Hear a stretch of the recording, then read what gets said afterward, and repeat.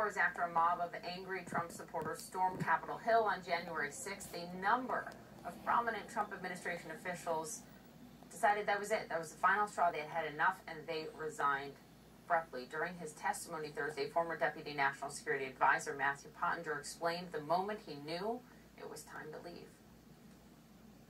I, I was disturbed and worried to see that the president was attacking uh, Vice President Pence for doing his constitutional duty. So the tweet looked to me like the opposite of what, what we really needed at that moment, which was a de escalation. Uh, and uh, that's why I, I, had said earlier that it looked like fuel being poured on the fire. So that was the moment that I decided uh, that I was going to resign, that that would be my, my last day at the White House.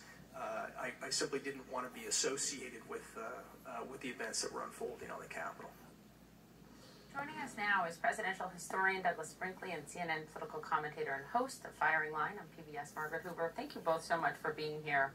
Doug, let me begin with you. I mean, you are a presidential historian, and I wonder how you think history will judge the work of this committee, and particularly uh, its members and those who testified who sacrificed so much. For some of them, it will likely cost them their job. We just heard Adam Kinzinger detail threats to his six month old baby as a result. How will history look at them in this work? Well, Poppy, this has been a slamming indictment against Donald Trump as being an anti American demagogue, a bully, somebody with a dictatorial bent. Um, we forget that this isn't just about Democrats versus Republicans. Most of the people who uh, spoke in front of the committee were Republicans, were people that uh, were supportive of Donald Trump.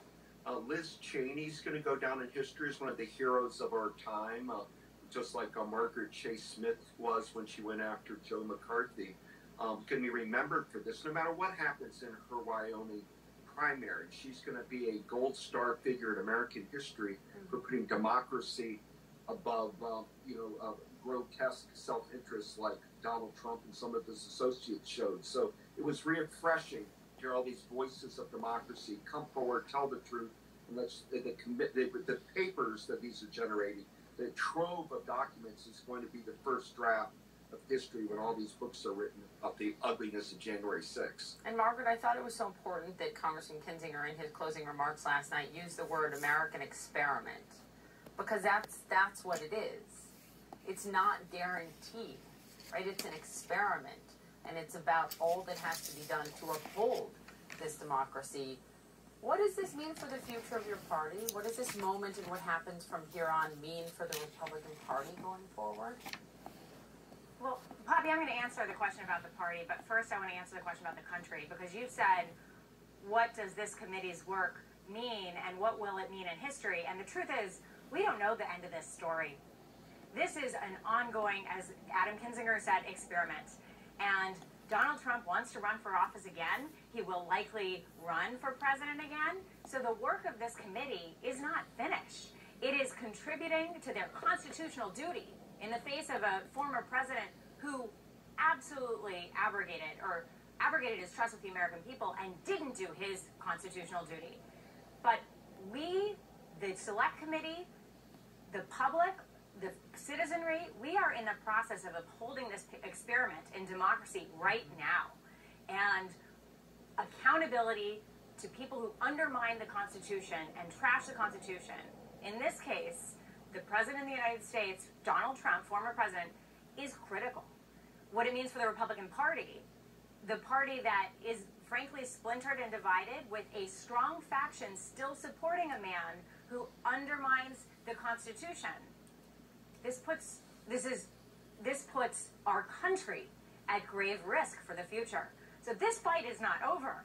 We continue to need to uphold and hold uphold the Constitution and hold those responsible for undermining it accountable. And I think the Select Committee is doing its part. Liz Cheney very concisely summarized the case against Donald Trump last night. Can we just listen to also sound that was so striking and important, I think, from Congresswoman Liz Cheney. This is at the end of the hearing. Here's what she said about the bravery of women throughout. Listen.